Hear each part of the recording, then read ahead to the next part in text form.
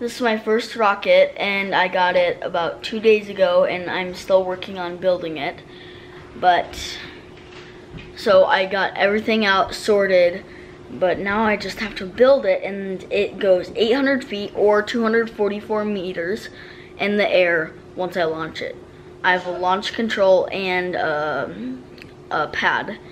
So the stuff that we need is an X-Acto knife, plastic uh, plastic glue and sandpaper. So where I got this is a place called Hobbies and they have drones, they have um, RCs and they are so nice. You should, if you are into drones or anything like this, you should go check it out.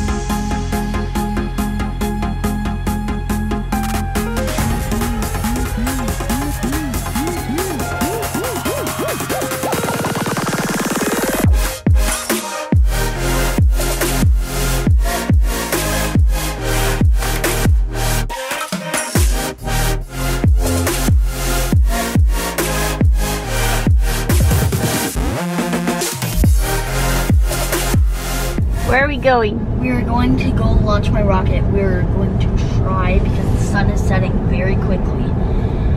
So I'm very excited and even if we don't, we can try tomorrow night. Yeah. Yes.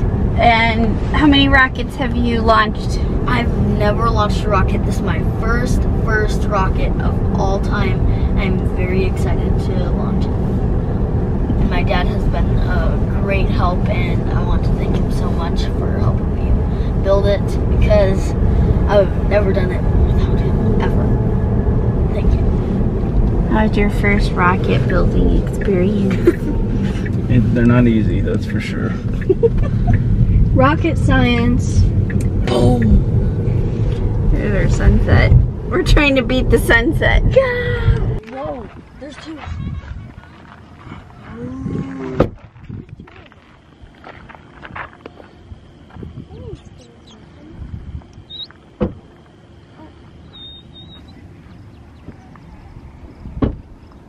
Beautiful sunset. What happened? Well, you- my can rocket. Um, this is why they have the string, so it doesn't need a parachute. It just falls into pieces. Yeah, this rocket is like a a silly rocket. What are you hoping happens? Um, goes up as high as 800 feet. And comes and down? Comes down very safely and doesn't snap. Should we all stand back by the red box? Okay, Lincoln, do you want to launch it? Absolutely. How do we do this? Now, the way we do this is this is the launch key, okay? Okay. Go forward. Okay. Okay. We're going to put this in here. Five, four, three, two, one.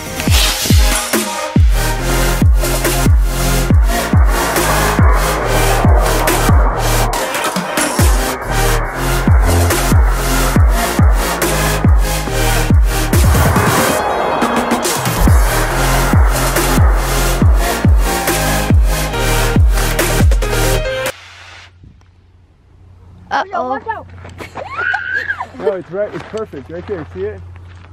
Wow! I can't get it. Oh my goodness! Watch out! Watch out!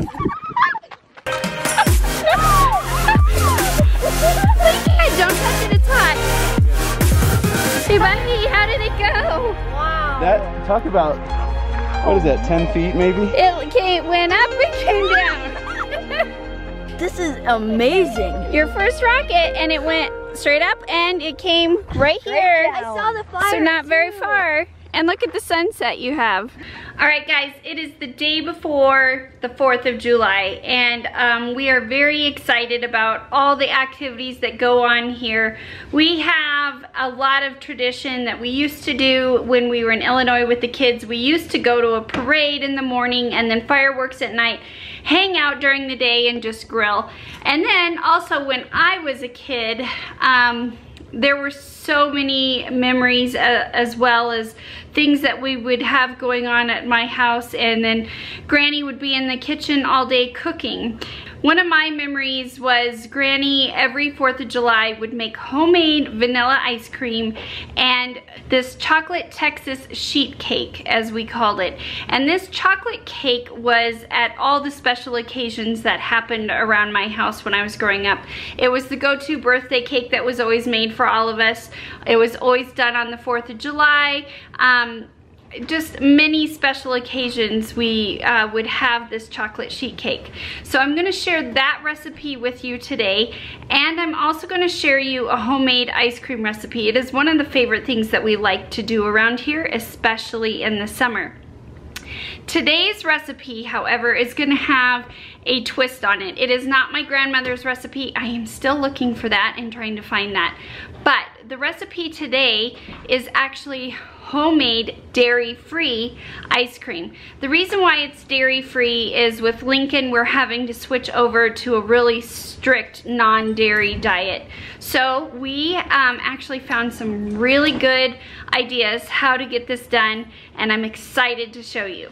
So the first thing that we're gonna start with today is the ice cream. And the reason being is because um, that is, it's gonna have to sit there and churn in your ice cream maker for at least four hours.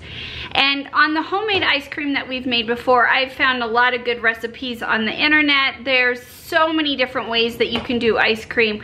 A lot of them is you get half and half and heavy whipping cream. You add some sugar. Some recipes even have eggs in it and you uh, simmer it on the stove. You don't quite bring it to a boil. But today's recipe, um, I'm really excited to share something with you that I found. Our local um, farmer's market here in Parker is awesome. And we were down there one day and one of the booths was a young man. He, I would say he's about 11 or 12 years old and his siblings have come up with this company and it is pre-made ice cream mix. And all you have to do is add the wet ingredients.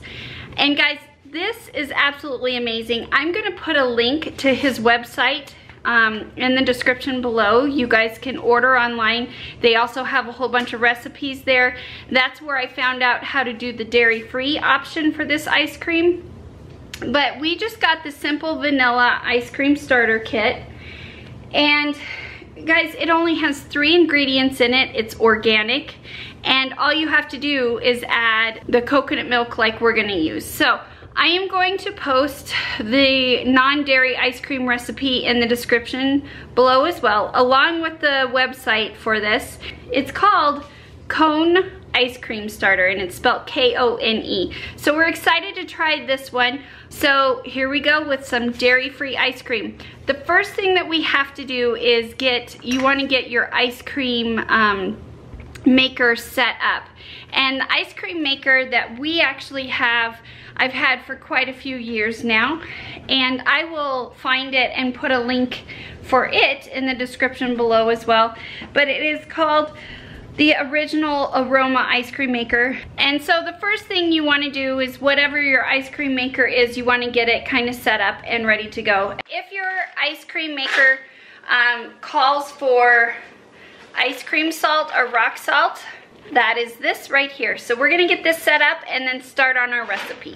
All right guys, so for this dairy-free ice cream recipe, the ingredients that we are using is the KONE ice cream starter, the vanilla KONE ice cream starter kit, three cups organic nut milk and I unsweetened nut milk. We use cashew milk because Luke sometimes reacts to almonds. Three cups full fat coconut milk that comes in the can. And what we're gonna do is combine these all into a mixing bowl, mix the ingredients together really well and then put it in our ice cream maker.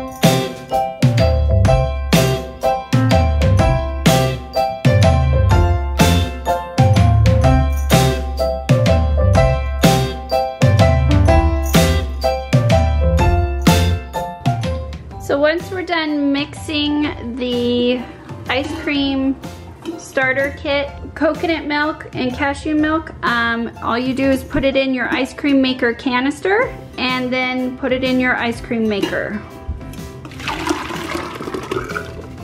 This makes two quarts of ice cream. So this is the point where we're gonna put the canister that has our ice cream mix into our ice cream maker and I have Lincoln here. He's gonna help me. I need you to hold that straight. Okay. And now this is where we're gonna put the layers of ice and rock salt around the ice cream oh, canister. This is gonna be very cold. So the goal is to do a layer of ice, a layer of rock salt, a layer of ice, and you'll have to follow your directions on your ice cream maker, maker but on this one I have a small fill line that I have to get it to.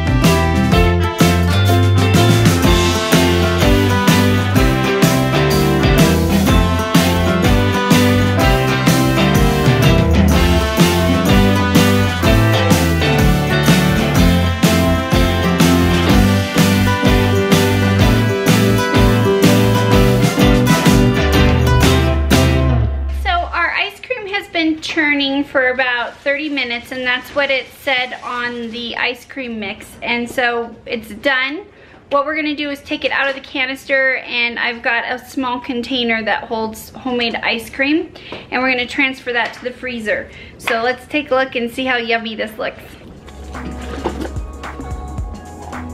Oh yeah, that's great. So we're gonna get this out of the canister into our container and it's ready for tomorrow. I hope you guys enjoyed this video on how to make homemade dairy-free ice cream. Once again, guys, check out the links in the description below for the ice cream mix that we used, and you can use regular dairy with it as well. Hope you enjoyed the video, and we'll see you next time.